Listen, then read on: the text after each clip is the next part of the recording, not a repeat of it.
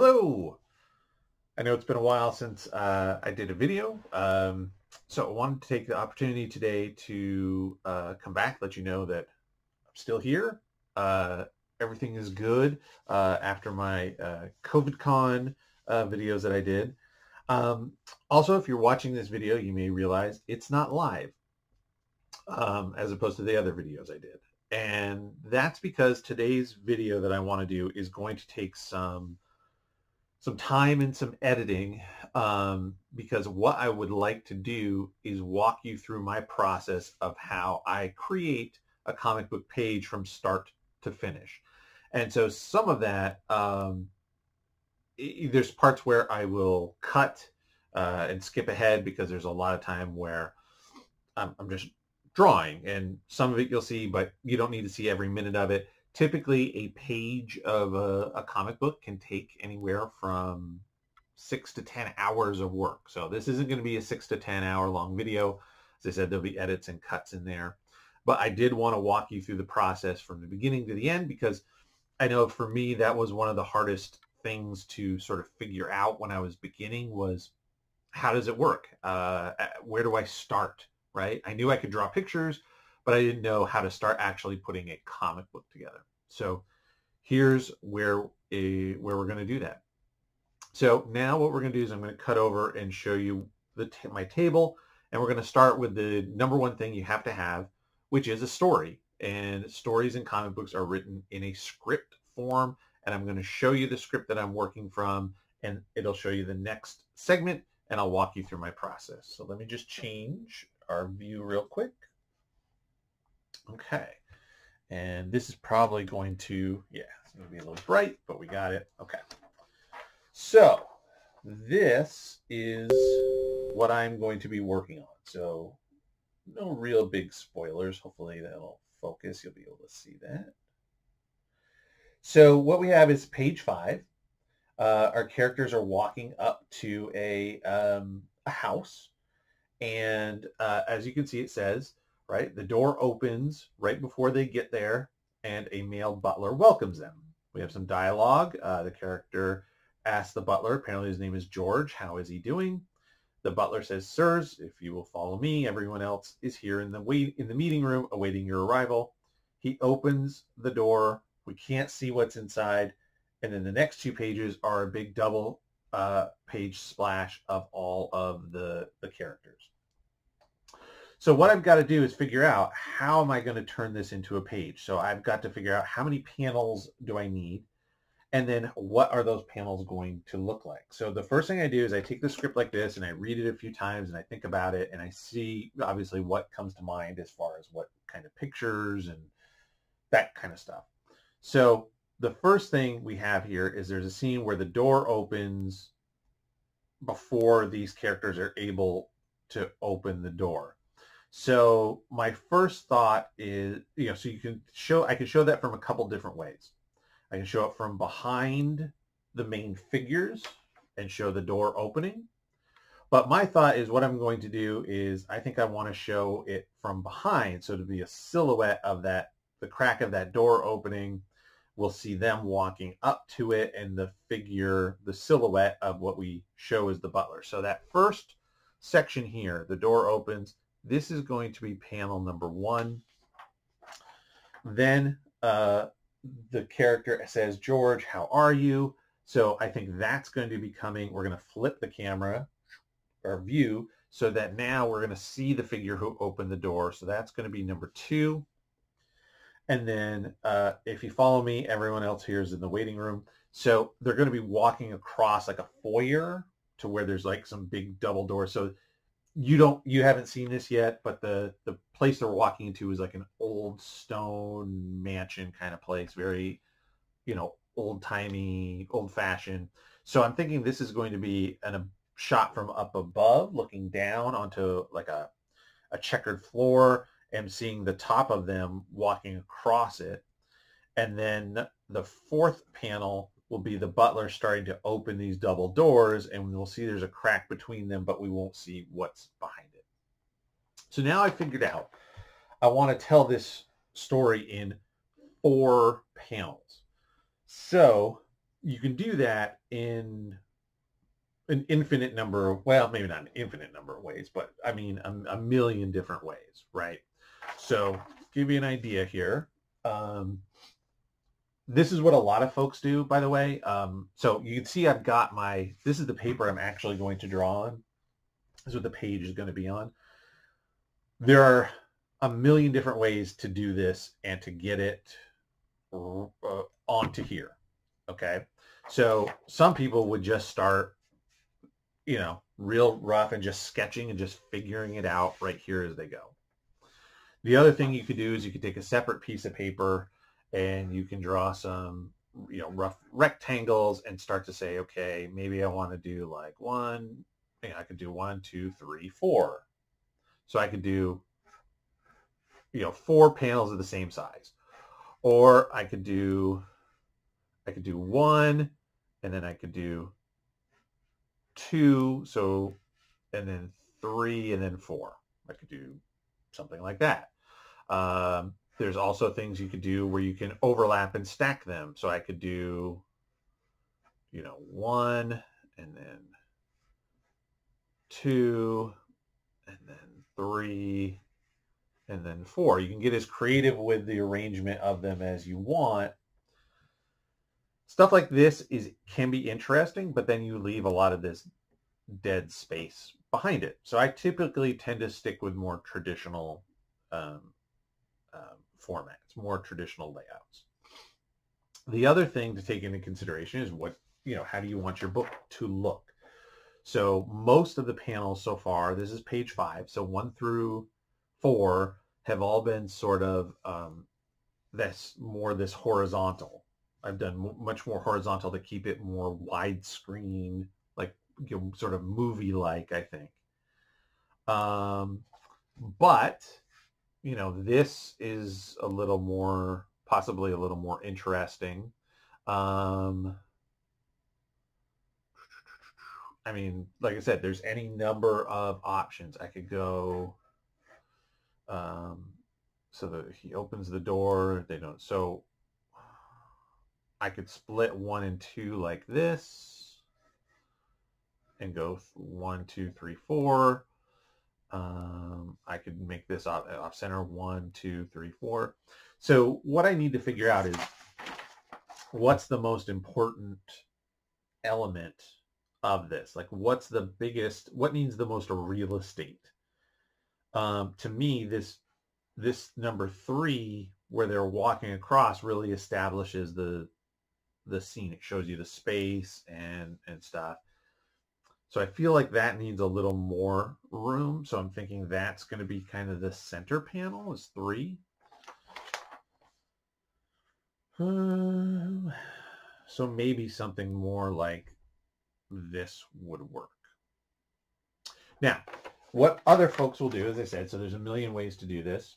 What I do is now I will start to work this out on the page. And if I don't, I'm going to work fairly light uh, with my pencil. So if I don't like it, I just erase it. No big deal.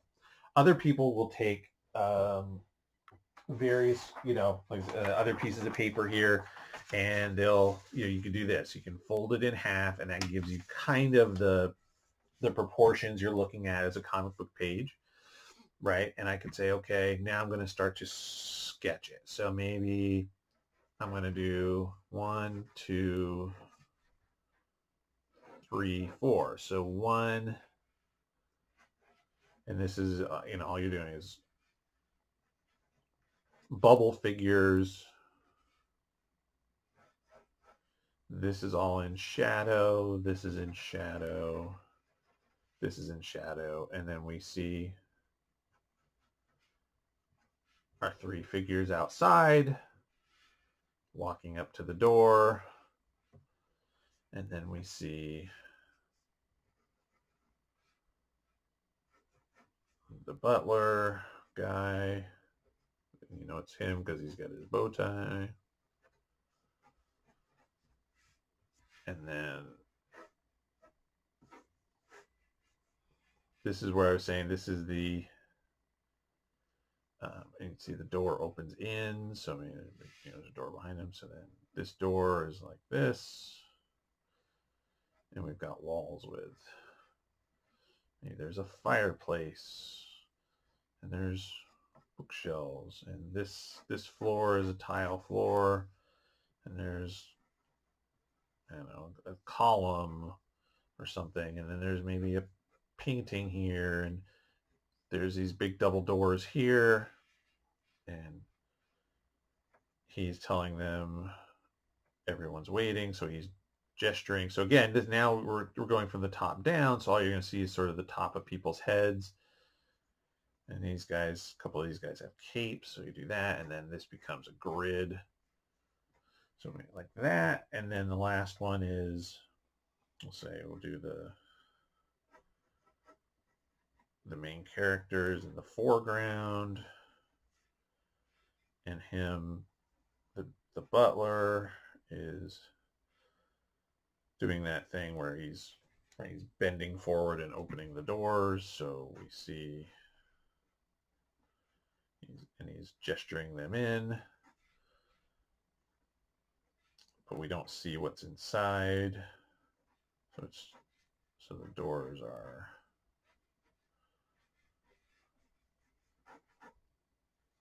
something like that. Um, so so you could do like that. So this is what some folks would do. They would do it this way, work it out on paper first, and then how do you if you like this you go okay i can work with this. How do i get this onto here? So this is where some people use technology. You could scan this um, and you can print it onto this um, in a nice light blue color like uh, these outlines on the board. You could um, uh, some people used to use photocopiers. Again, you could scan, I could scan this and print it in the size that I want and then use what's called a light box where you take a, it's a literally a box with a light inside of it that shines up through the paper and you can trace it out. So I could trace all this, blow it up, trace all this in here. Some people do digital, so they'll go on their computer and they'll essentially draw the page with lots of details and stuff on the computer and then print it on here and then the ink it on here. So there's a million different ways to do it. Um, so for me, uh, sometimes I'll do this if I'm not sure, and I'll go, okay, that that works. Other times, like I said, I'll just sort of work it out straight here. Um, but I think this works. I kind of like this, uh, where I'm going with this. So the next step um, for me is now that I have this, I'll take it and I will keep it up here on my board on my drawing table so I can look back at it anytime I want. So the next step is to draw out the um, the actual uh, panel borders so I know where stuff is going to go. And for that, I will need my ruler. Um, again, not super exciting, but it's all part of the process, right? So what I've got to do is I've got to figure out from my little sketch how much do I, how much real estate do I need on here? And uh, for anybody who knows, uh, if we've talked about it before or you've seen it, it's about 10 and a quarter inches, uh, or maybe close to 10 and a half inches by 15 inches is this space that I have to draw in. So uh, this uh, page is nice, and uh, you probably can't see it from this detail, but the lines along the side of the of the board here um, are measured in inch increments um, with quarter and eighth inch marked out. So if I decide that this top one, I want to make this top section of the of the book, um, I'm going to do four inches, I think. So if I do four inches, that gives me 11 left. So I could do six or seven and then on the bottom. So all I have to do is look for the four inch marks here on either side. And I know I'm automatically lined up, right? So that helps. Uh, so the next thing to talk about is um, the spaces in between the panels. This is what we call panel gutters. And gutters are, like I said, it, it's just literally that. It's just a space between the panels to break them up so it doesn't trick the eye into thinking it's, thinking it's one big drawing. some comics, a lot of modern comics do not put a space in between. Um, I've tried it. It's not for me. I like the old school look of the spaces in between. So in this particular case, I've been using the 1 8 inch uh, mark that's already on the board to go ahead and make my break. So now this is one big panel and then this would be the next. You can make this space in between at any size you want. It could be uh, an eighth of an inch, a quarter of an inch, a sixteenth of an inch. You can color it black. You can ask the colorist to color it a different color. It could be anything you want, or you can have nothing at all. It's totally up to you. Um, so let's see. So from the bottom, 15, if I want to do another four, I would go to 11. Uh, let's do five. I want a little more space in that bottom one because I've got characters in the foreground and the middle ground. So I want to give myself enough room. So, gonna, so this time I went up from the bottom. And now I'm going to go again that eighth of an inch line. So now I have three out of four, but the top one I wanted to split. So now I've got to come across and go, okay, how much room do I need for that? And again, I, I sort of eyeball it first and say, okay, maybe, yeah, maybe like that. And so where that lines up is about six inches from the right. So I'll go to the six inch mark. Oops. And line that up from top to bottom, which again, it's just really useful to have that already on the board for you so that you don't have to worry about measuring it out. Now, I do have boards where um, uh, it's not pre-measured, and I have absolutely measured that out, my, you know, myself which is not a big deal. Now, the other thing to remember with all this that we're doing so far, everything here is in pencil. So if I decided once I start drawing that I really need a lot more room in this panel, I could scoot this over or vice versa. Or if I wanted to scoot this down a little bit, whatever I want to do, I have variation within all this um, because it's still in pencil. Oh, and to give you an idea, so this, uh, I'll talk about materials very quickly. This paper um, is, you can probably see, comes from a company called Eon. Um, I've had this for a long time. It is a heavy duty, um, smooth Bristol board. In fact, yeah, it says smooth 2010. I don't know if I actually had this for 11 years now, but it's possible. Um, if it have, boy, it's held up well. You can see it hasn't yellowed or, or aged very well. Um, so that's good, or it's aged well. Um, so Eon, uh, there's also a company called Blue Line Pro that I use um, that makes that kind of paper. Um, there's also some stuff you can get in some art supply stores. Um, this one is Strathmore, the actual, um, right? Is it Canson Strathmore? Um, but it's, you can see it's the same sort of thing. I'll do it this way. It's the same size, the same paper. It has the blue lines on it. Not sure if you can see. These are not measured. So you would have to do all your measurements yourself. Um, the important thing for me is on all of this paper is that it is smooth. That's important to me. It has to be 11 by 17. Um, and then um, you can, as far as then the different weights of the paper, how thick it is, totally up to you. Um, but 11 by 17, Strathmore, Bristol, and I use smooth. There's other types uh, where the, it has a finish. You can use vellum. Um, and then plate is even harder than this. So I like the smooth. Everybody's got their own preferences, totally up to you. The pencil that I was working with, that I do kind of a lot of my work with, is just a, you know, Staples brand Pilot 0.05, and I can put any lead I want into it, right? Um, what I'm going to use next, though, is a lead holder. So this is a Techmatic. I don't remember where I got this from. It's a, but all it does is it's like a little claw inside at the end that holds this stick of lead. I think I've talked about these before.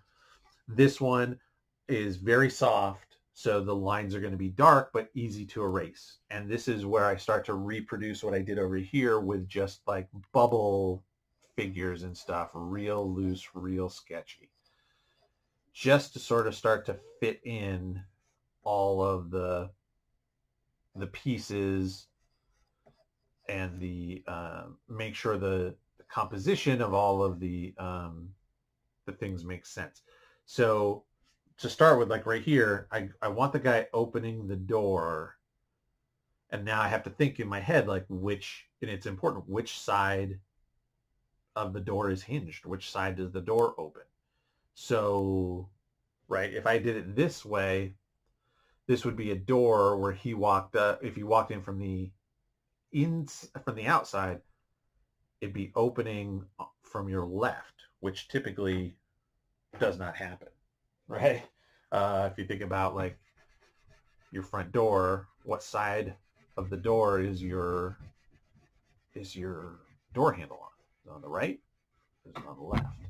Most of the time, it's going to be on the right. So I'm going to switch that around. And it doesn't, that's one where, again, I can just, I'm not so, you know, I'm not stuck on the, that little bit. It erased really easy. I can do that. So now if uh, that's on the right hand side. So now the door would be opening in this way. So maybe we can show his hand coming up and opening the door. I haven't decided if it's going to be a, uh, like a like a round door or a square door yet. Um, I will do the other door casing and now, and then over here we'll have our our hero figures who are coming to the door. And then we'll do enough of the of the background behind them so that we know that's where they it's going to tie into the panel that came before. So then when we see the butler figure shows uh, I might do I might do a full figure.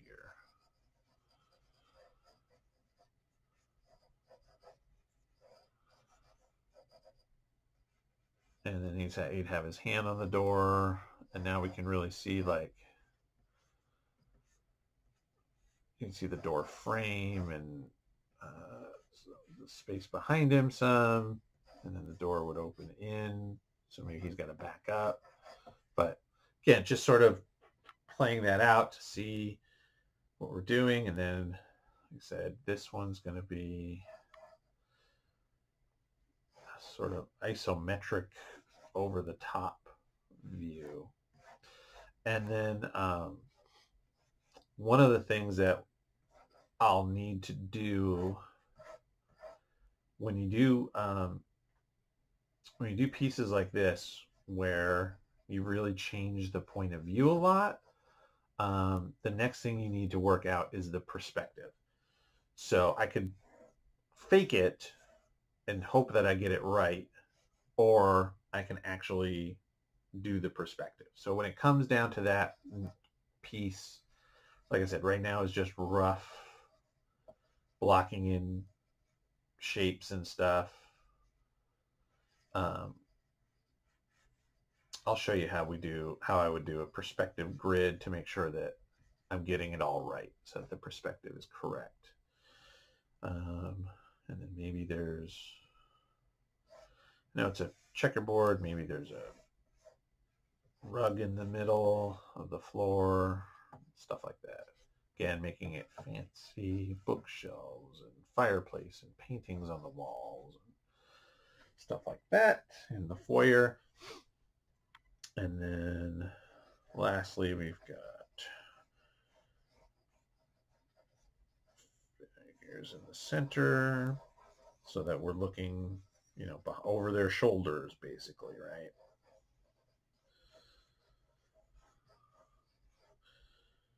And then we've got this guy, he's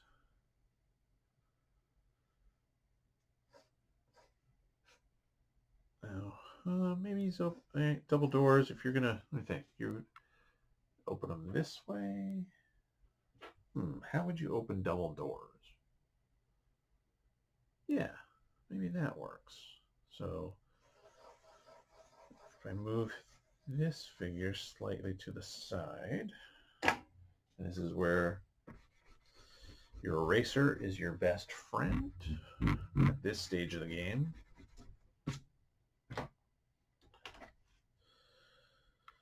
So if I put the center of the doors here, and he's pulling them to him, they would be opening like that. Again, this is one where you got to do the perspective correctly, which can be tricky. Bigger doors. And then he is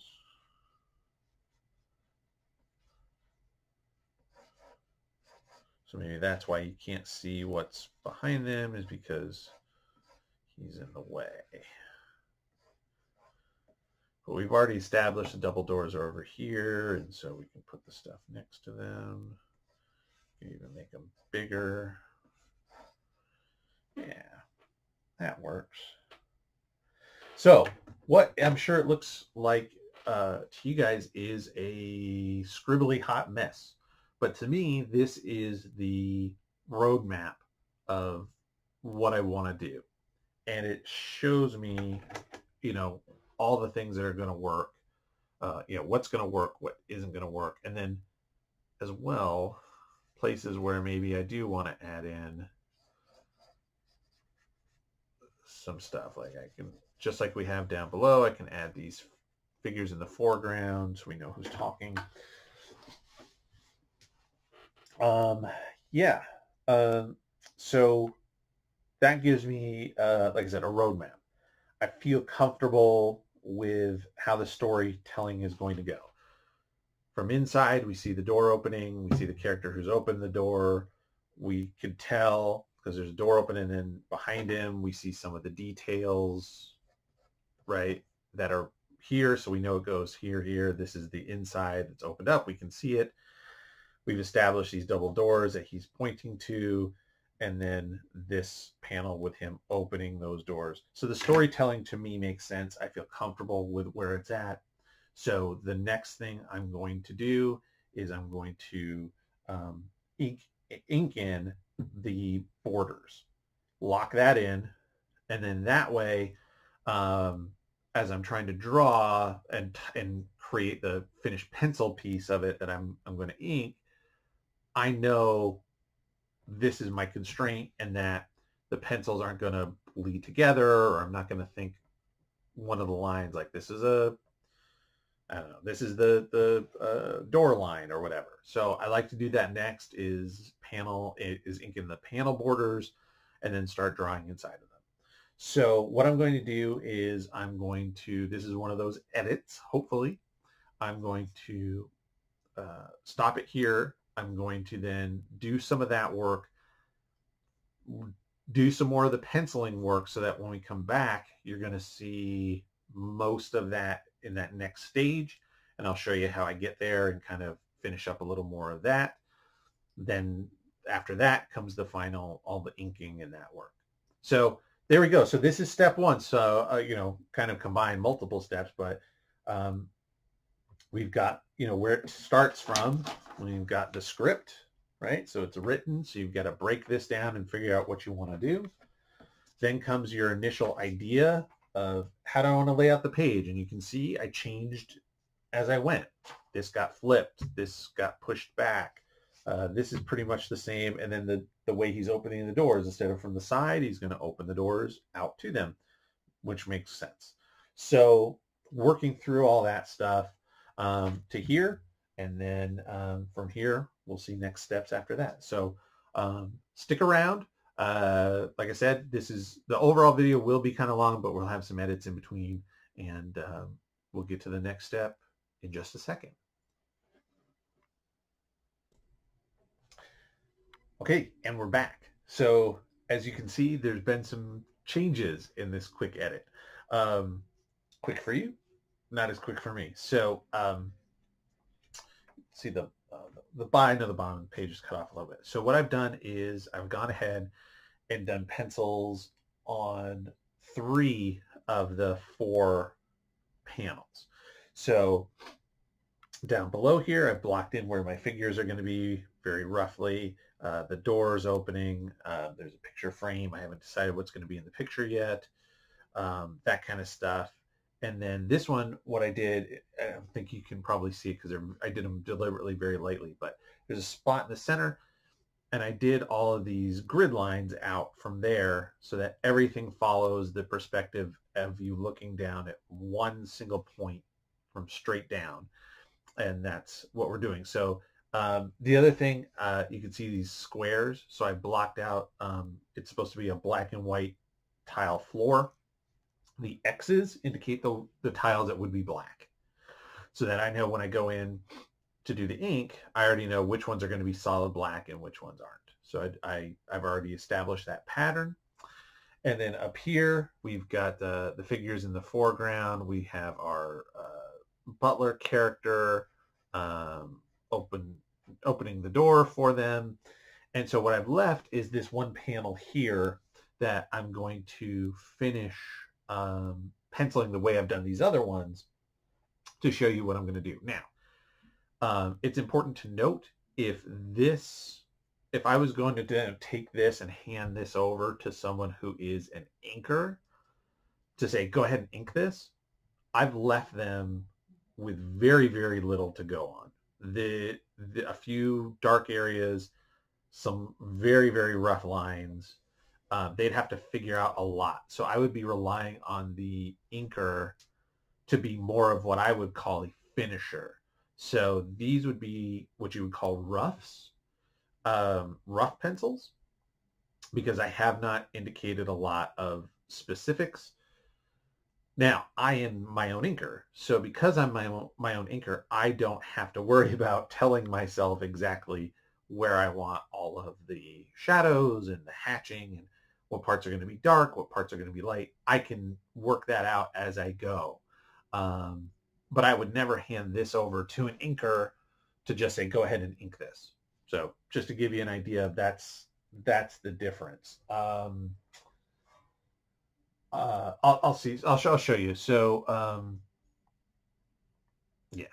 So we'll do this one here. So um, what we've got is the the guy, and we've I've established back here that he's got sort of a a thin hairline, but not um, he's not bald, um, but it's relatively thin. And then the, the part is on his right, which would be this side. So it's going to kind of go like that. Now, one of the things that will help for me is that, as I said, this figure is all going to be in silhouette. So I don't have to go in and say like, okay, you know, here's the here's the ear, and I got to put in the folds of the ear, and then that's going to go down there. Uh, his hair, and then I've got to, you know, go through and, and do like the shading of the hair. I, I don't have to do that because this is all going to just be solid black because it's brighter outside than it is inside. So I've given him his collar, part of the bow tie, collar, cuff of his, or the, yeah, back of the collar of the, of the jacket, his arm,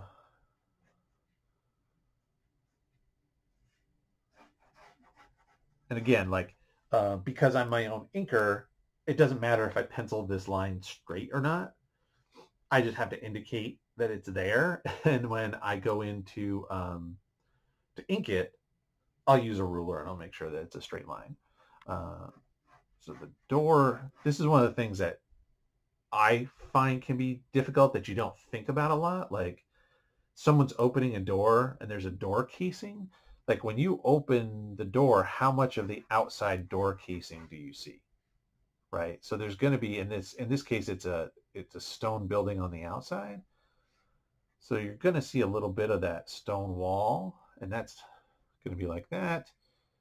And then I've established here that it's sort of like a, uh, a wood, almost like a like a castle door with the metal bands across it. So I can sort of indicate that like that.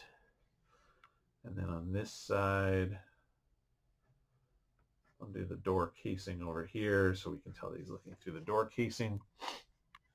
And now the three figures. So the small, uh, the smallest one is in the center, but he's slightly behind the other two. So I'm going to do this figure here, and he's got. So I'm flipping uh, the three that are down here, or or in this one here. So right, so they're flipped. So this guy with the spiky hair and the thing sticking out from behind him is going to be here and he'll be slightly in front.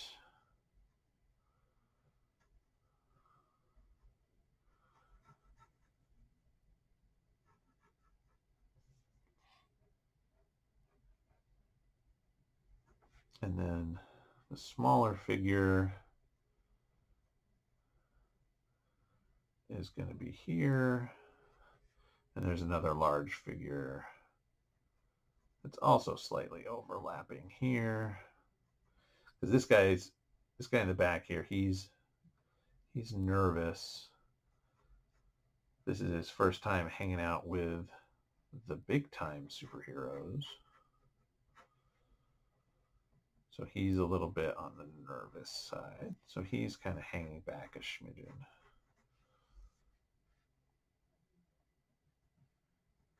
and then uh, the path they were walking up, there were some bushes. There were some trees behind them.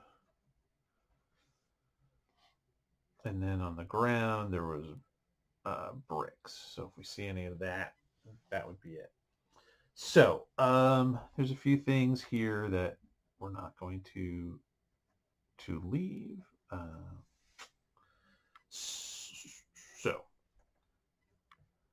what I'll do is I'll show you what I would do if this was a piece I was going to hand off to an inker to have them ink it.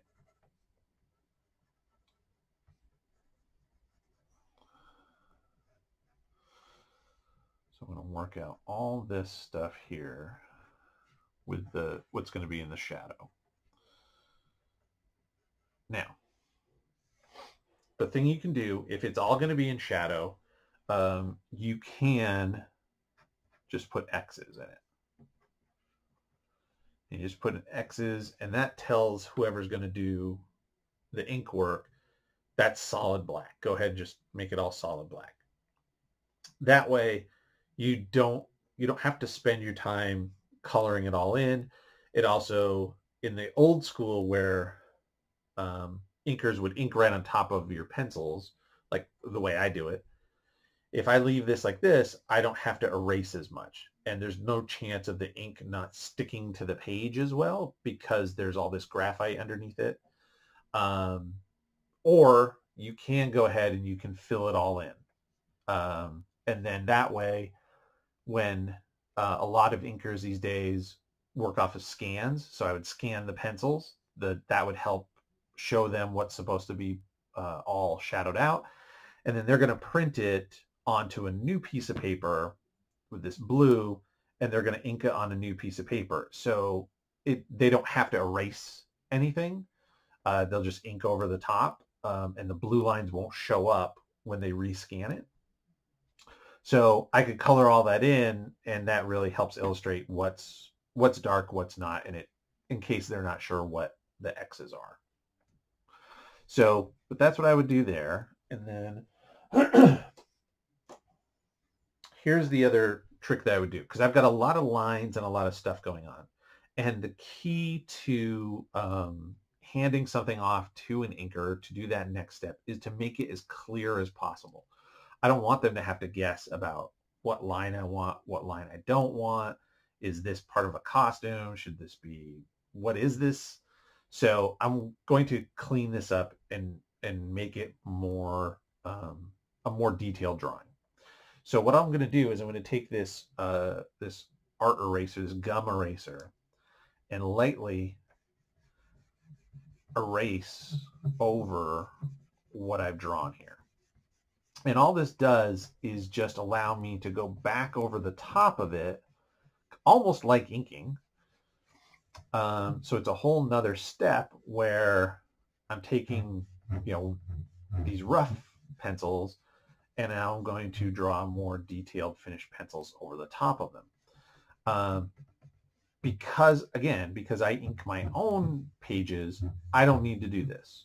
I can, I could take a page like, or a panel like this one here that's very rough and just work out all the details straight with the inks. Um, but we're just going through the motion and showing you um, how I would do this.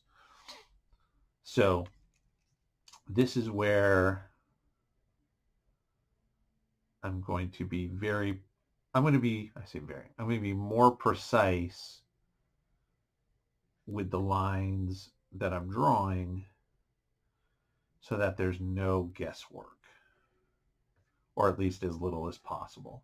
Now, the best thing about working with an inker is that you're working with another artist who can bring something extra and better to your work to make it you know the the sum of the parts is right? Is that it? The sum of the parts is greater than the whole? No.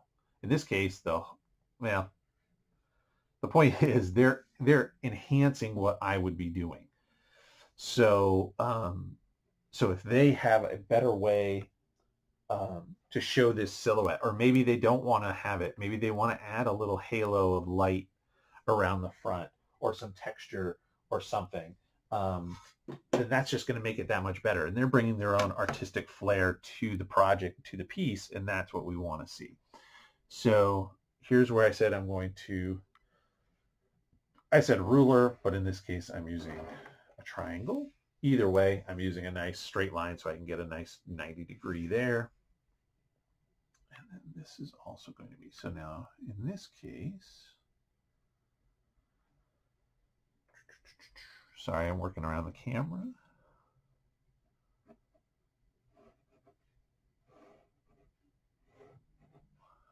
And this is why it's important if you do get um, drafting tools, whenever possible, like your triangles, your rulers, get transparent ones so that as you draw over the top, you can see what's what's underneath it. So if you need to leave spaces like I did, that is a huge help. So highly recommend um, transparent drafting tools. Big, big, big help.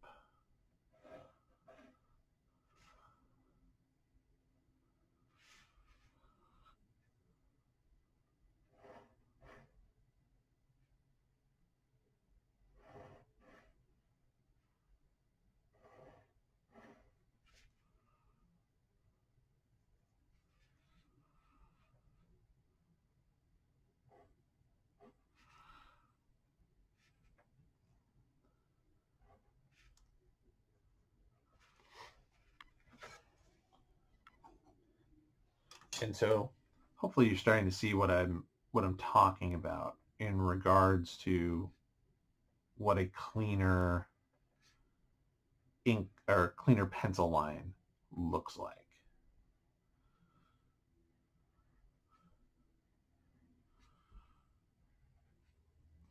And then now this, uh, these lines are supposed to be, these are wood, right? So these are wood planks, wood slats that um, make up the door. So I actually don't want these to be perfectly straight. I want them to have a little wobble so that they feel organic.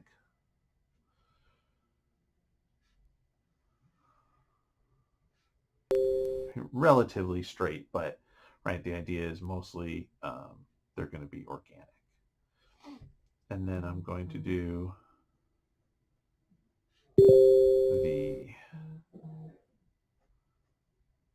wood texture here. So this would be, again, where I'm drawing the wood texture for the inker. If they don't follow it exactly, if they've got something better to add to it, uh, great. You know, more more power to them. I'm all for that. Uh, the reality is I just don't get a chance to work with inkers uh, very often. Um, most of the time I do end up inking my own work just out of necessity. Um, so this is all stuff that I wouldn't, I would not draw this in pencil. I would just draw it straight with the ink pens. Um,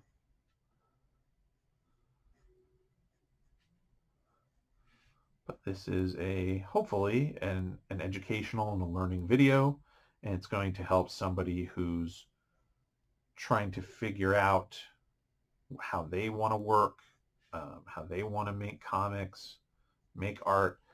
And so if you if you're new and you're trying to understand what level of detail you need to send an inker, this is what we're showing. This is what I'm talking about.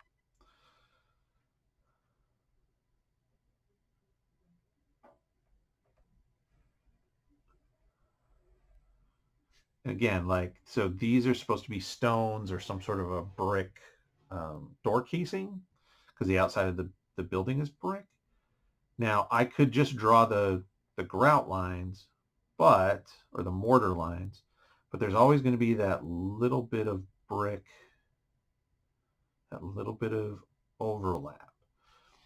Now, again, this is something that I would have done as I was inking it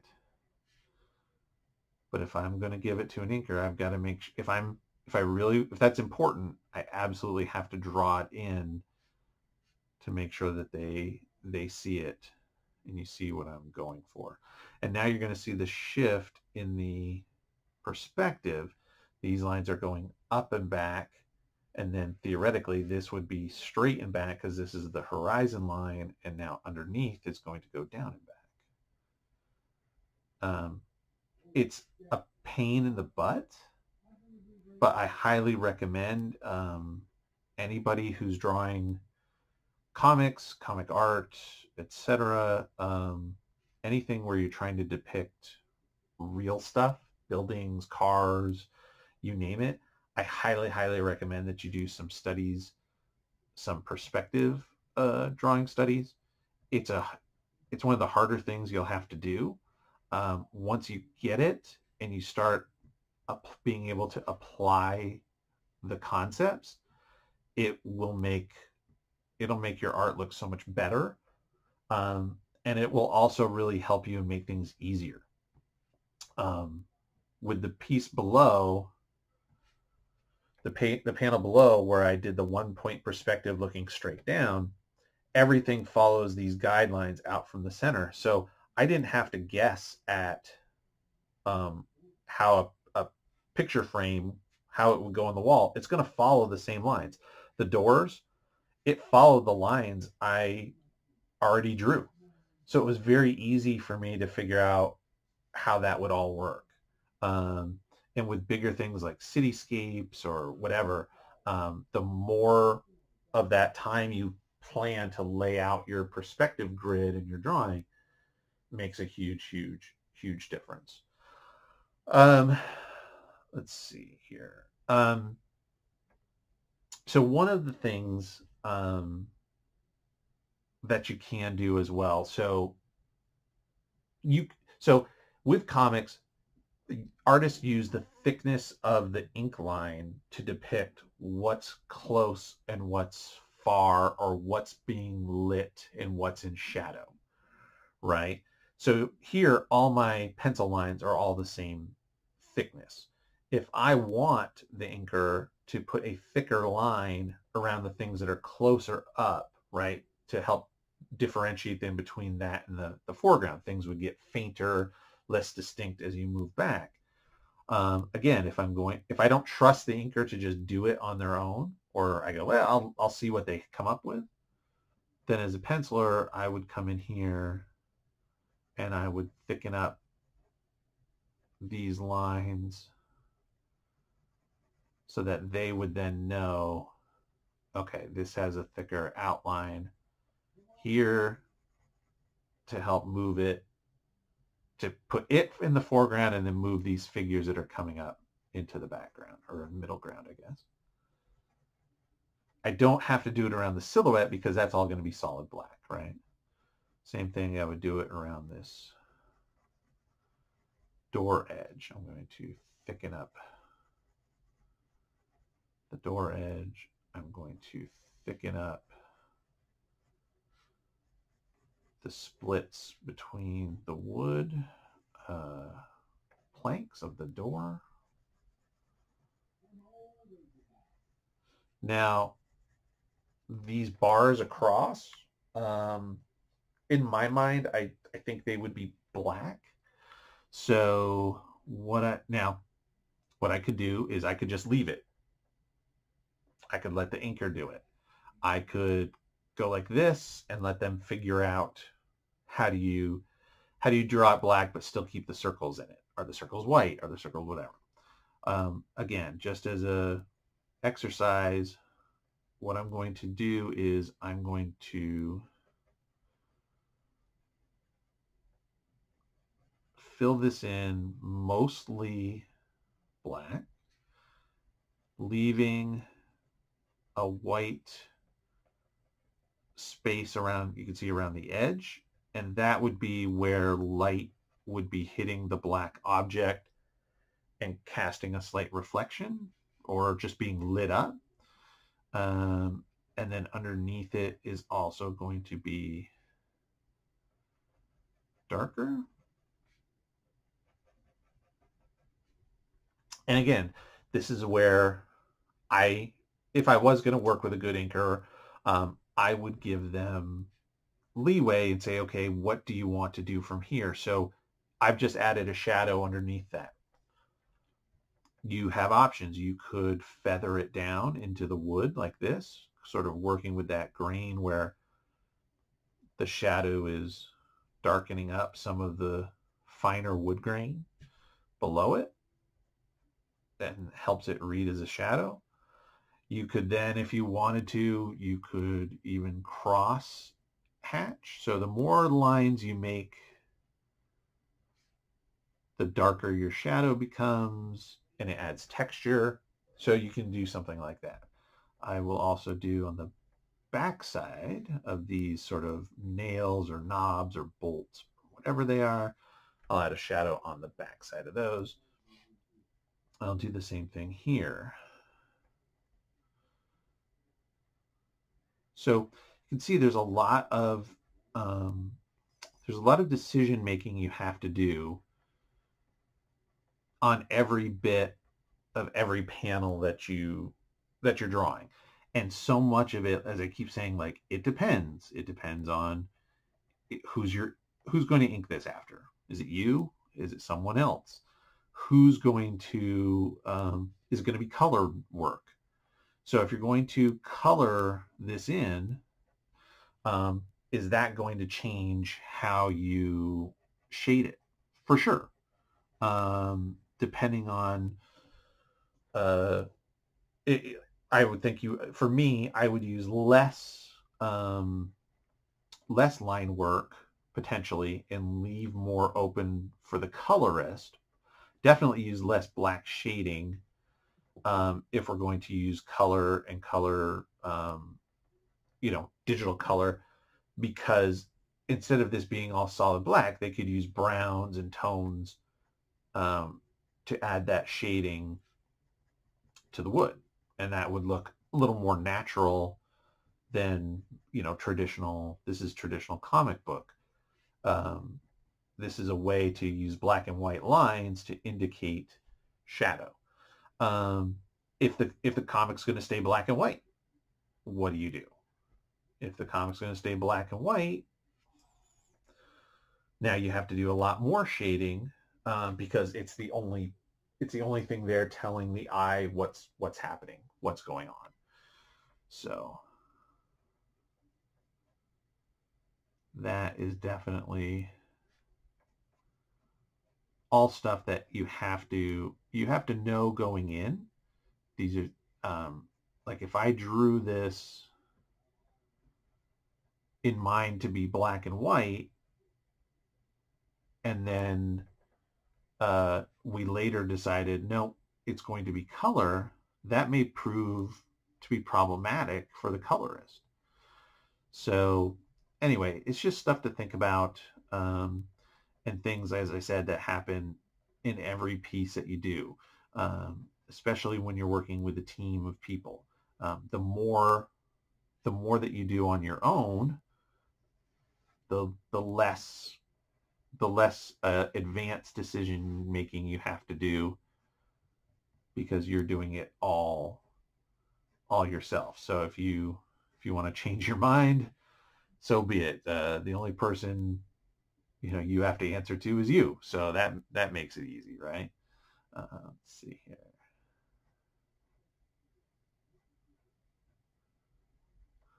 He's got your classic sort of take on a Batman utility belt. Actually, what I'm going to do, this is a different pencil. I'm going to show you this one. This is um, just, a, it's another mechanical pencil, but this one is a 0.3 millimeter lead. So it's a much thinner lead. Um, and I typically use a slightly harder um, lead in it um, so that the lines are a little bit lighter. And this is good for really small, small detail areas. Um, so as these figures in the background are much smaller, things like the hatching and stuff, I'm going to use the this pencil.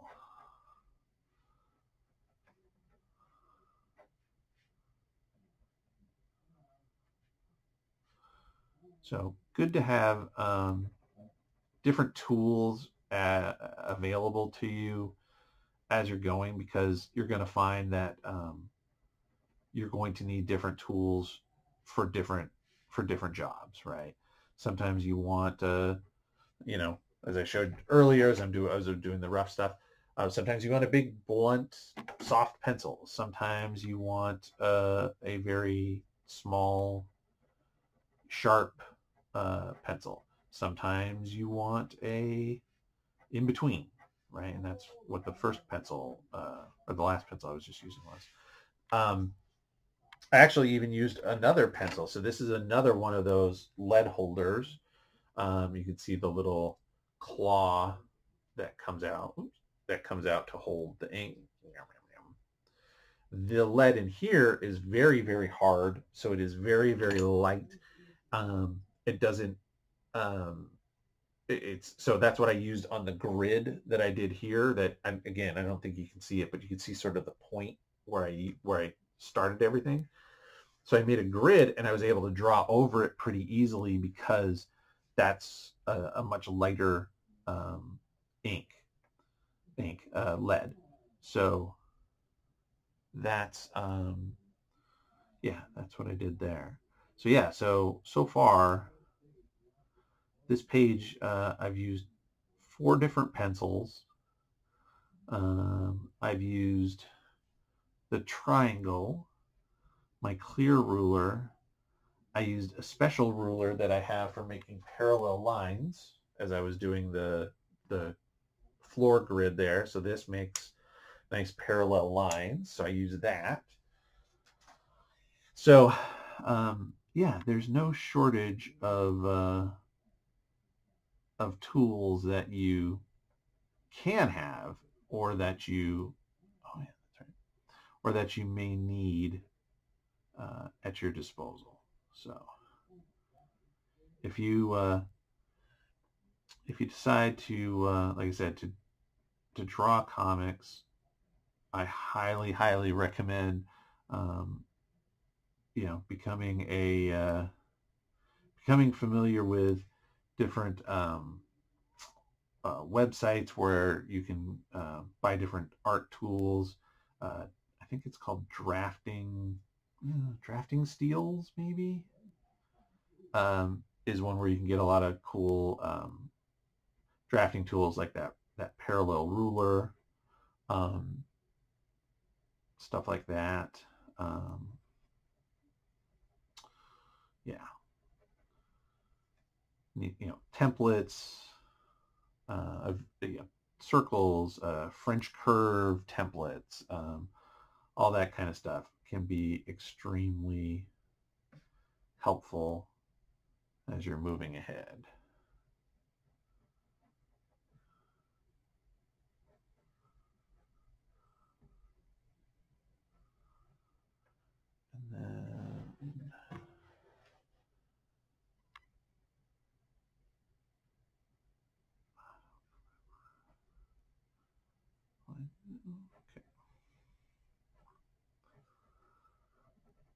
And then the other thing that's always good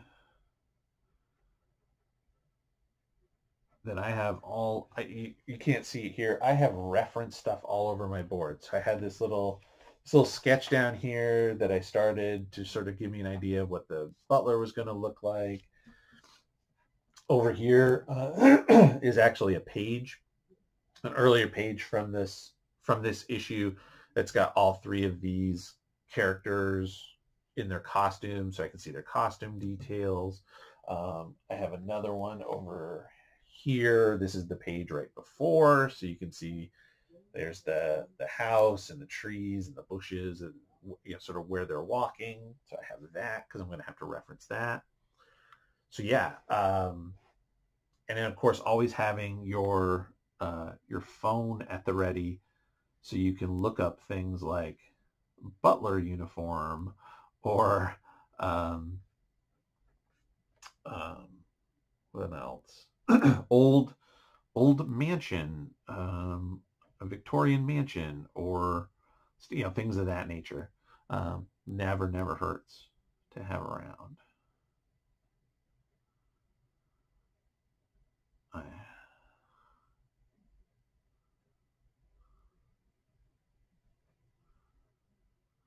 So again, as is as we're moving to the space behind,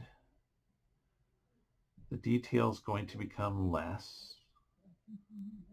So I'm going to go ahead and kind of draw much much fainter. I'm not going to worry about putting in all of the detail um, because it's further away from from the viewer, from where would be your eyes right? So like his nose and mouth sort of just become hints with lines, with shadows. Um, here. Sort of, again, sort of hinting he's behind them, so he's got a belt buckle that's going to come down.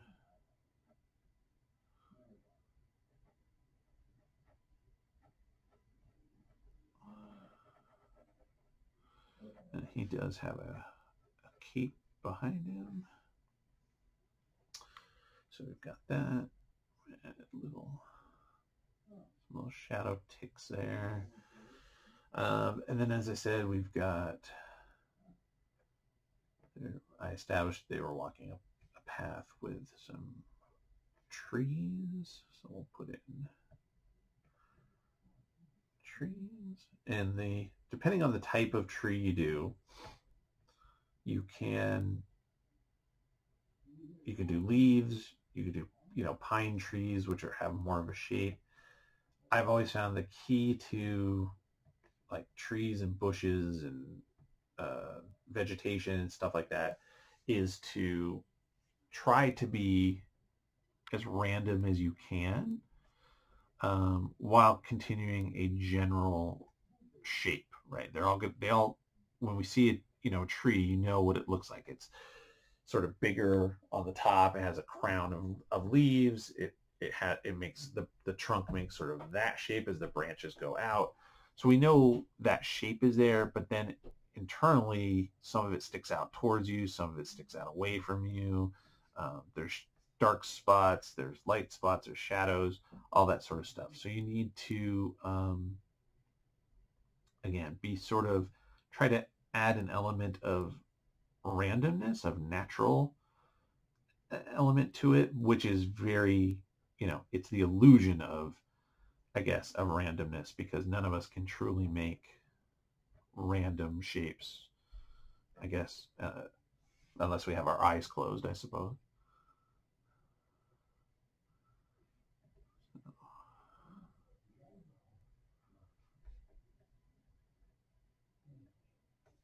So this is all this is all behind them with their and then this is going to be shaded.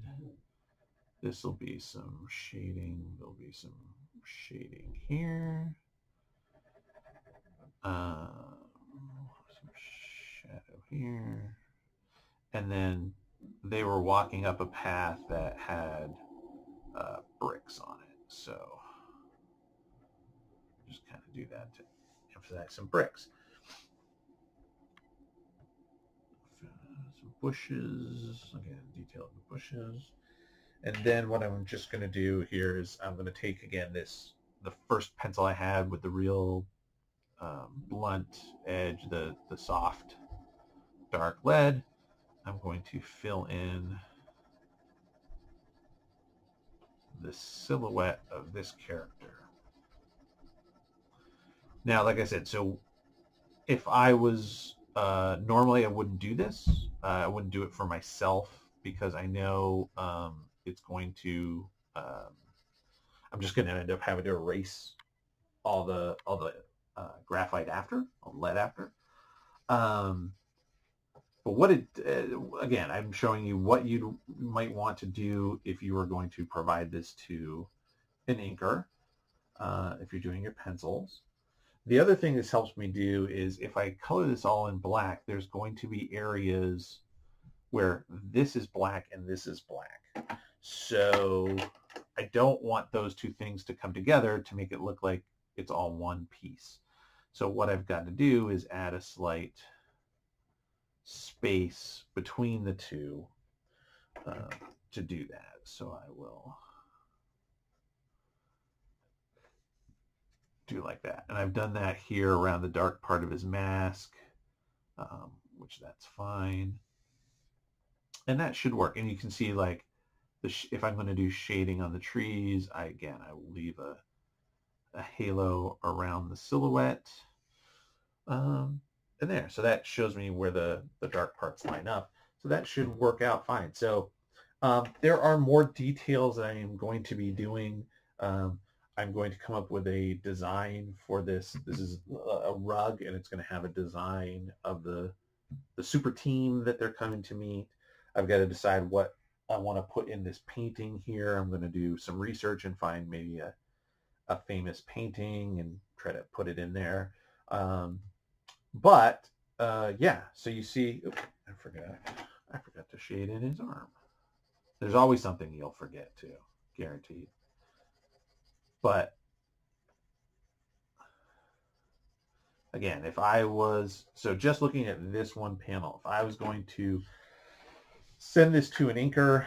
Um, oh, that's right. Shoot. So I kind of messed up. I forgot that this is supposed to be. See? I haven't done this in so long. Like I said, I just keep, I just ink my myself. This is supposed to be the other part of the door frame.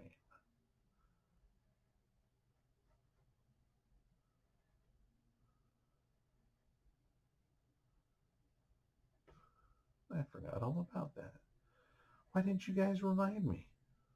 Oh, because you're watching this and it's already recorded and I couldn't hear you anyway. Silly me.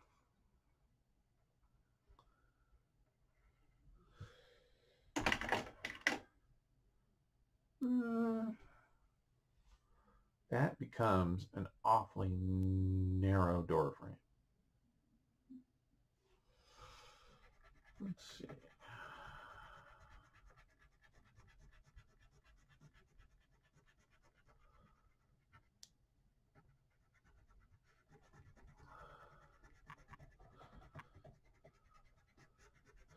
So this is another, here going back to supplies, this is another eraser uh, that I like, which is because it's thin, um, you can sort of click it out and you can um, extend it, but I like the, the thin nature to it where I can erase specific stuff without getting in too far. I do have one of these, uh, which is not bad for sort of medium size. And then I've got this for when lots of stuff has to be erased. So let's see if I cut this back. Do I want to cut it back to here or does it even need to be here at all? That, that is the question.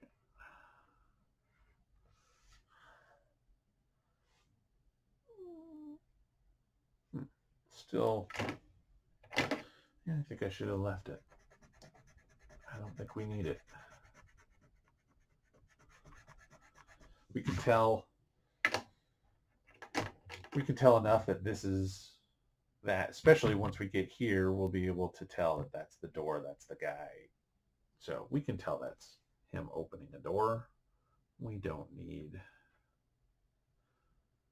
we don't need that other door frame I don't think. So I'll just go back and add in. So we'll fix that. There we go so this video, um, uh, again, thank you for watching. I appreciate it very much. I hope it's been educational. I hope it's been informational.